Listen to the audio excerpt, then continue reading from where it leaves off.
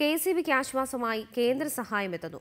രണ്ടായിരത്തി അഞ്ഞൂറ് കോടി രൂപയോളം കേന്ദ്രാവിഷ്കൃത പദ്ധതികൾ നടപ്പിലാക്കുന്നതിനായി കെ എസ് ബിക്ക് നൽകാൻ കേന്ദ്ര ഊർജ മന്ത്രാലയം തത്വത്തിൽ തീരുമാനിച്ചു. അതേസമയം കേരളത്തിലെ സർക്കാർ സ്ഥാപനങ്ങളിൽ നിന്ന് വൈദ്യുതി നിരക്ക് മുൻകൂർ ഈടാക്കണമെന്നും കെ എസ് ബിക്ക് കേന്ദ്ര ഊർജ മന്ത്രാലയം നിർദ്ദേശം നൽകി.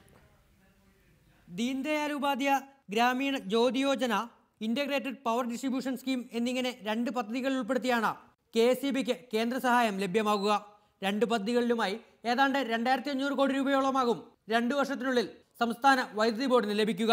സംസ്ഥാനത്തെ വൈദ്യുത പ്രസരണ ശൃംഖല കൂടുതൽ ശക്തിപ്പെടുത്തുക തുടർച്ചയായ വൈദ്യുതി എത്തിക്കുക എന്നിവയാണ് പദ്ധതിയുടെ പ്രാഥമിക ലക്ഷ്യം. K chairman M Sivasankar I എസിന്റെ നേതൃത്വത്തിലുള്ള സംഘം കേന്ദ്ര ഊർജ മന്ത്രാലയത്തിലെ മുതിർന്ന ഉദ്യോഗസ്ഥരുമായി നടത്തിയ കൂടിയാലോചനകളിലാണ് കേന്ദ്ര സഹായം സംബന്ധിച്ച ധാരണയായത്. സാമ്പത്തിക പ്രതിസന്ധിയിലാപ്പെട്ടിരിക്കുന്ന കെ കേന്ദ്ര സഹായം ഏറെ ഗുണകരമാകുമെന്നാണ് വിലയിരുത്തപ്പെടുന്നത്.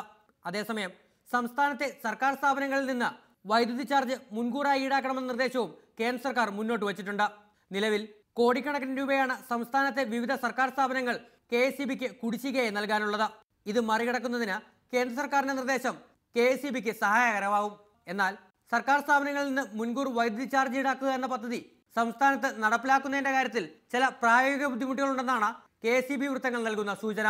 റിപ്പോർട്ടർ ദില്ലി.